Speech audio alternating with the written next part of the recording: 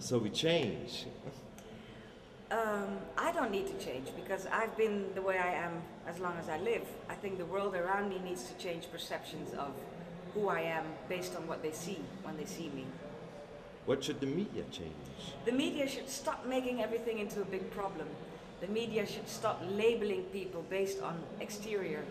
The media should stop labeling people based on background. They should just, you know, look at people and see people. Because we all are people, and actually we all are one. Because we come from the same little thing that exploded and made the Big Bang. That was all together, and now we're here. So it's all one. For the kids, I think the kids are doing just fine.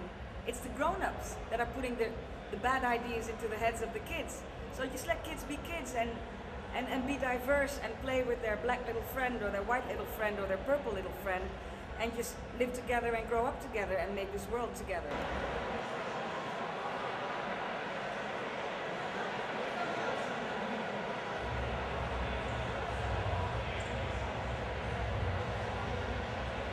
Music is a universal thing. Everybody likes music, whether you like rap or you like classical music, it's still music. So music is a good vehicle. United we stand and divided we fall. That's a reggae thing, but it's so true.